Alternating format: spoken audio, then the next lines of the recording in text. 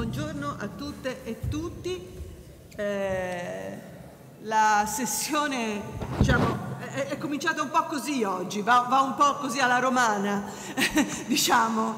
Eh, mi ritrovo a coordinare un panel che per la metà ha già parlato, ma queste sono cose che succedono in Italia, non è un problema, siamo gente flessibile e le motivazioni per parlare prima sono, sono giuste, sono più che plausibili, quindi eh, diciamo tra assenti e chi ha già parlato avremo un panel un po' diverso. Però, Nicoletta, mi dai... Però eh, vorrei, vorrei, partire da... Grazie. Vorrei partire da alcuni punti eh, diciamo abbastanza essenziali. Eh, io mi chiamo Nicoletta Dentico, mi presentano come giornalista, ma io in realtà non faccio la giornalista, io da vent'anni, anzi dal 1999, mi occupo sistematicamente di sanità, di politiche sanitarie cosa che non ha niente a che cioè scrivo ma non faccio la giornalista e eh, lavoro eh, sulle politiche della salute, eh, ovviamente occupandomi molto anche del mio paese ma con uno sguardo internazionale. E ehm, vorrei eh, ribadire che ehm, diciamo, questi dibattiti sono di fondamentale importanza ed è così, questo è il secondo, è stato già detto all'inizio, eh, ed è veramente un peccato che nel momento in cui si vuole l'interlocuzione con la politica, l'interlocuzione con la politica sia sempre così, come dire, fugace, no? sia sempre così aneddotica, fugace, veloce e non ci sia, diciamo, se non raramente il tempo per, una, per un racconto e per una condivisione profonda delle cose, perché dietro i numeri, dietro quel 1, 1,2 numero di posti letto per mille abitanti, non ci sono i numeri, ma ci sono le vite delle persone. E quindi volevo fare alcune considerazioni, permettetemi di fare alcune considerazioni di, così, diciamo, eh, una sorta di prologo emotivo. Allora, innanzitutto eh, chiamo il professor Villari eh, a, a, venire qui eh, con noi al, al tavolo. Eh, esatto sì, assolutamente sì, professore. Mi sono presa il vezzo di metterla accanto a me perché come eh, l'onorevole Quartini anch'io sono figlia sua e quindi ci tengo, siamo tanti a essere figli suoi, figli e figli suoi. Tutti abbiamo studiato. Allora, la cosa importante è che quando Miguel Gotor fa eh, la sua disamina, interessantissima disamina storica su come la salute eh, tra la fine del Cinquecento e l'inizio del Seicento è stata, come dire, no? è diventata il terreno di anche di quel patto eh, fra Chiesa e Stato, eh, è interessante perché appunto la salu- ha, ha, spiegato un dato che è ancora oggi estremamente eh, reale e poi il professor Villari come dire, entrerà nello specifico. La salute è stata sempre storicamente al centro degli assetti diciamo, istituzionali e costituzionali. È sempre stata al centro perché è quel territorio dove alla politica si unisce il diritto alla vita, perché poi alla fine, quando parliamo di salute, non stiamo parlando di diritti sanitari, stiamo parlando del diritto alla vita. E quindi naturalmente tra la fine del Cinquecento e l'inizio del Seicento, nel momento in cui in Europa imperversavano eh, un sacco di problematiche sanitarie, la peste che è stata citata, eh, eh, si stava cambiando il mondo e con questo anche le sfide sanitarie comparivano con una dimensione che, eh, come dire, era inusitata per quei tempi, eh, la sanità diventa, la salute diventa il territorio, diciamo, di negoziato. È stato così anche del, eh, dopo la, con la creazione do, del dopoguerra, con la creazione delle Nazioni Unite. Noi oggi celebriamo, fra alcuni giorni celebreremo due date importanti. I 75 anni della Carta dei diritti umani, della Dichiarazione fondamentale dei diritti umani, eh, 75 anni. Celebriamo quest'anno i 75 anni del diritto alla salute, ne parlerà il, il professor Villari che guardate è stato il primo diritto costituzionalizzato. Il diritto alla salute è entrato in vigore come diritto vincolante 75 anni fa, sette mesi, otto mesi quasi prima della dichiarazione fondamentale dei diritti umani che vincolante non è. Quindi la salute è stato il primo diritto cogente a cui Oggi 194 paesi sono obbligati. Per favore, se si può uscire, se si fanno conversazioni, scusate, scusate, No, niente, vabbè. Andiamo avanti. Eh sì, perché non, non è... Scusate, se dovete fare conversazioni è meglio uscire per educazione, grazie. E, e, e quindi eh, la salute è un, un tema centrale. Il, tra, a dicembre avremo anche 45 anni del Servizio Sanitario Nazionale, la legge 833 di cui parlava appunto prima eh, l'onorevole eh, Quartini. Quindi fare queste conversazioni è fondamentale ed è uno dei grandissimi drammi di questo Paese che mentre in Inghilterra da dicembre ci sono scioperi che continuano su questa cosa, mentre in Germania eh, l'istituto Charité a Berlino è riuscito a fare 11 settimane non stop di scioperi, mentre in Spagna si riempiono le piazze a Madrid sul diritto alla salute contro la privatizzazione della salute, in Italia non succede niente e quando si fanno questi dibattiti siamo i soliti addetti ai lavori. Quindi mentre in Francia, in Francia si chiedono ma perché siamo riusciti a portare solo 3 milioni di persone sulla sanità quando siamo più di 40 milioni di persone come paese? Queste sono le domande che si fa la Francia. In Italia ci chiediamo ancora del perché siamo così pochi ancora a discutere di salute. E guardate, tra, de, tra il 500 e il 600, insomma, eh, noi in, que, in, quei periodi, nel 500, abbiamo avuto il sacco di Roma. Eh? Chiaramente eh, Oliva Salviati ha parlato dell'attuale sacco di Roma. Il sacco di Roma continua, il sacco dell'Italia continua, l'hai detto benissimo, mi permetto di darti del tu, l'hai detto benissimo.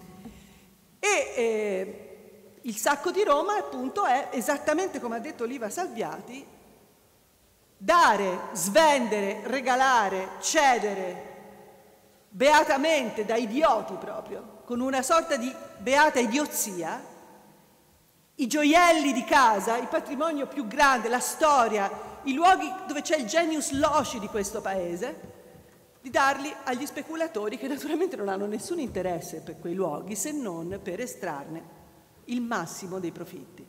Ora, io mi chiedo che popolo è quello, eh sì, come dire, no? Mentre c'è questa retorica nazionale, il popolo, ma che, che razza di italiani siamo diventati, no? Se riusciamo a, come dire, beotamente appunto cedere tutto questo senza neanche renderci conto che poi è difficile farlo tornare in un tempo del neoliberismo, dove evidentemente la, funzione pubblica è stata talmente svuotata che ha proprio perso il senso di sé, si autoprivatizza, prima ancora che glielo impongano gli speculatori, ormai la funzione pubblica è completamente assoggettata, ha interiorizzato il fatto che il mercato sta sopra tutto.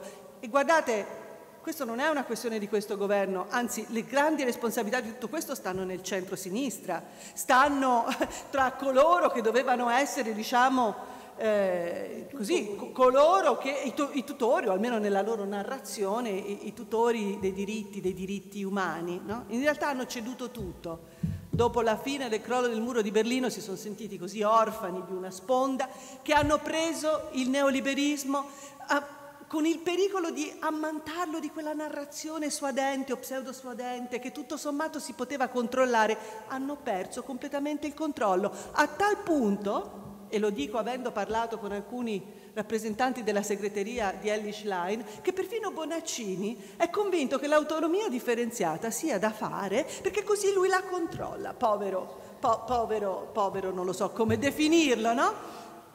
Quindi il problema è profondo, il problema è profondo. E, e vengo, vengo ai, ai, miei studi, a, alle mie letture, alla mia ricerca internazionale, perché la cosiddetta autonomia differenziata, come la chiamiamo noi, è una delle matrici fondamentali che il neoliberismo è una delle ricette che il neoliberismo vuole imporre alla salute. Noi del resto ce l'abbiamo già, questa sorta di autonomia differenziata in salute. La sanità, come sempre, come sempre, se da una parte la salute è quel territorio così importante per la costruzione degli assetti istituzionali, la salute è anche un grandissimo territorio di sperimentazione dei nuovi assetti che si devono costruire.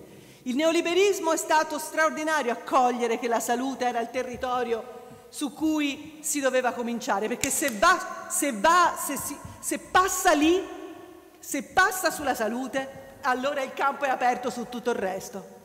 E infatti è dalla fine degli anni 80 che, che fanno questo. La salute è il viatico per poi introdurre le politiche neoliberiste in tutti gli altri settori. E siccome appunto se passa sulla salute, e sulla salute passa, la salute passa perché ormai è visto come un costo, perché i ministri della salute non, non, contano granché, non hanno neanche portafoglio, perché invece della salute positiva, cioè di quel concetto di cui parlava Quartini prima, della prevenzione, della promozione della salute, della visione non meramente ospedaliera e eh, come dire, eh, curativa della salute, hanno invece costruito la salute secondo le malattie. Ormai i nostri ministri non sono più ministri della salute, sono ministri delle malattie. Devono gestire le varie malattie, ok? Malamente, peraltro. Hm? Allora, la devoluzione, l'autonomia differenziata, chiamatela, ci sono molti nomi per definirla, è una delle, delle principali ricette che il neoliberismo propone per la sanità. Perché? Perché se tu togli la possibilità strategica a un governo, già precaria, guardate bene, ma comunque se tu togli la possibilità di una visione nazionale sulla salute e la spappoli, la spezzetti, questo dà un agio incredibile alle famose lobby di cui si parlava prima, impedisce, come dire, esaspera ulteriormente la asimmetria tra poteri, perché un che se una big una multinazionale ha a che fare con uno Stato che è un investitore, il migliore investitore che gli può capitare uno Stato quando compra le medicine, perché è un investitore di lunga traiettoria, è un investitore importante. Se tu lo spezzetti questo, il potere contrattuale del, dell'investitore si spappola anch'esso, no?